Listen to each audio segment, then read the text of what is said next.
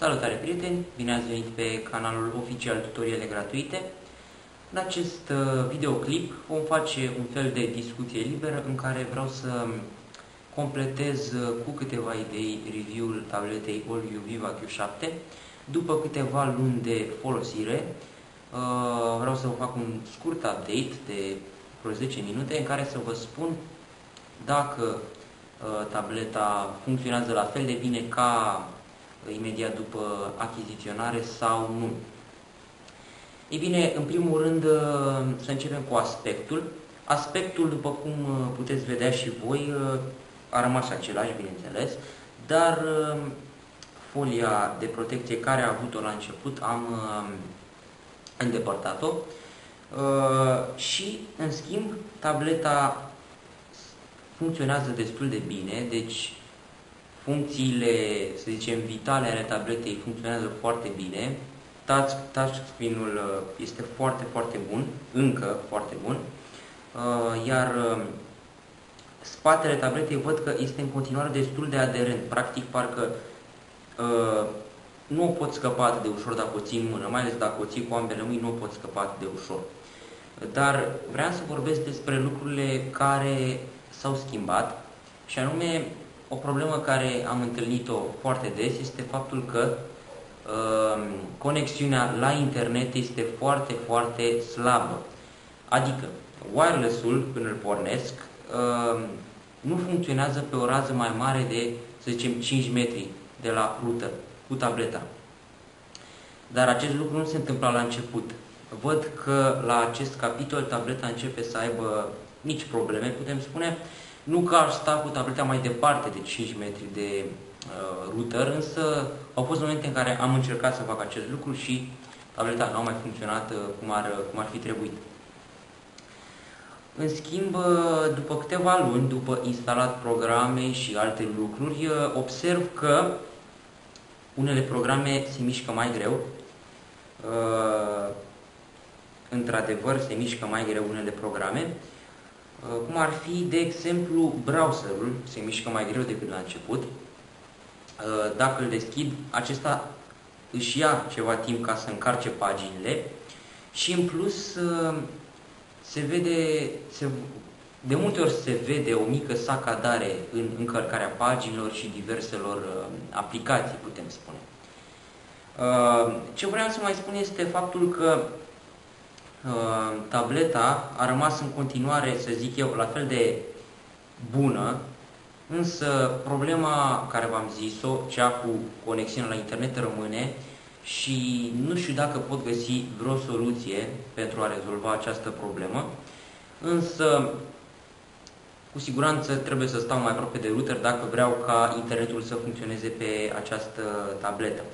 În schimb, celelalte funcții, să zicem, uh, gameplay-ul, um, predarea video, zic eu, funcționează la fel ca înainte, dar uh, problema care vine cu conexiunea este că atunci când mă uit pe YouTube la un videoclip, uh, mai ales dacă acesta este HD, uh, își ia foarte greu fișierele temporare YouTube-ul de pe tablete, tocmai din cauza conexiunii wireless, care este cam slabă și din această cauză nu pot să Uh, mă uit la un videoclip HD fără să trebuiască să pun pe pauză, să aștept să se descarce câte un pic uh, uh, fișierele temporare și documentele temporare care, de care are nevoie YouTube-ul, Flash-ul, pentru a viziona acel videoclip. Uh, pentru a viziona, de exemplu, un film sau un videoclip mai lung, prefer să îl descarc și să-l pun apoi pe tabletă și să mă uit pe el uh, fără conexiune la internet, deci practic de pe memoria flash a tabletei. Uh, ceea ce am observat este că, deși nu are foarte multe aplicații care rulează în acest timp, tableta, de la tabletă se folosesc foarte, foarte multe resurse, ceea ce nu este foarte bine. Uh, da? Și ce vreau să mai spun este că bateria, iarăși, pare să țină mai mult decât la început. Așa mi se pare mie, dar uh, timp să cred că mă înșel. Uh, pentru că la început, să zicem, o foloseam mult mai intens, de aceea mi se pare că mă înșel, dar uh, sper să nu fie așa. Uh, Bateria ține în jur de o oră jumate, bineînțeles destul de puțin în comparație cu alte device-uri mari, mai performante, de la Samsung și Apple. De exemplu, fără să o folosesc tot timpul, spune că acum am ținut-o două zile, două ore, 19 minute și 37 de secunde pe baterie. Bine, să zicem că cel puțin o zi nu am folosit-o deloc, da? Deci, de, din această cauză a stat atâta timp. Însă, tableta este foarte bună și cred că își face treaba foarte bine la vizualizat de documente. După cum spuneam, uh, documentele sunt foarte, foarte ușor de vizualizat pe această tabletă, uh, mai ales uh, ecranul portret, în acest fel, funcționează, zic eu, perfect. Ecranul se vede destul de clar, deși am luminozitatea dată la minim, tocmai din cauza că bateria se descărca foarte repede. Să zicem că și acesta ar fi un factor care zic eu, mă determină să spun că bateria ar ține mai mult decât la început. Uh, alte lucruri pe care le-am mai observat la această tabletă, de exemplu, uh, când uh, pornesc, să zicem, un videoclip HD pe YouTube, acesta are o mică sacadare la început, ceea ce nu mă prea mulțumește.